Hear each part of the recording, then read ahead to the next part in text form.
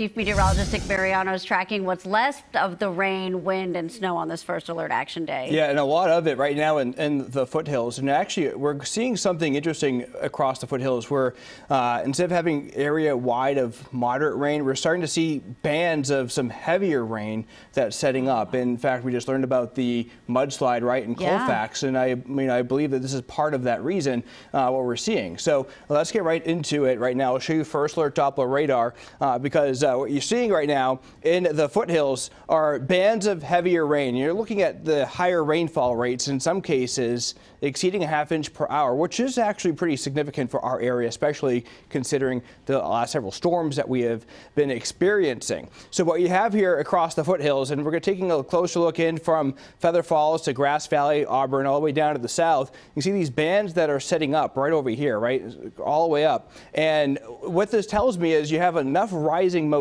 right? When you have a lot of rising motion, you get areas of some heavy rain right under that. And another sign of that is the lightning strikes that we're seeing from all that rising motion. But when you have so much rising motion, some of it has to come down.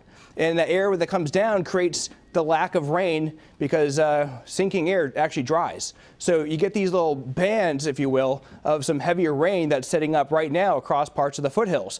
And along parts of 80, along parts of Colfax, for instance, you have one of those bands sitting right over Colfax. And this has been happening for about the last hour or so, we started seeing some moderate rain transition over to these bands of some heavier rain. So this is going to be ongoing, and this is why we have a higher flood threat across the foothills through this evening.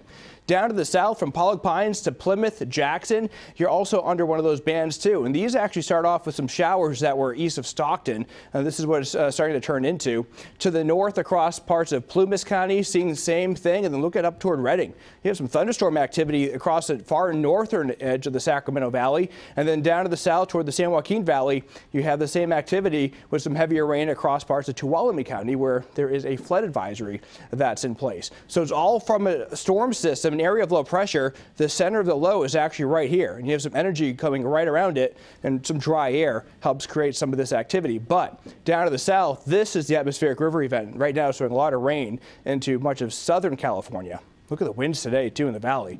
Gusty winds, Sacramento hit 60 miles per hour across a couple of spots. Now, some areas still seeing some high winds, but the strongest winds are now behind us. And as we move ahead, the rain and the wind starts to come to an end tonight. And we'll have a couple of days of some downtime before we start seeing a return to some active weather going into early next week. So I'll show you the seven day forecast. If you'll notice this, there are no red pages there, no first alert action days. So some quiet weather, uh, for at least for now. However, I'm watching Tuesday because that could be the next storm that could bring in some area-wide rain, some high elevation snow, and more active weather beyond that. But at least it's quiet for going to the end of this week. Yeah. Exactly. We'll keep our fingers crossed it stays that way. Yeah. Thank you, Nick.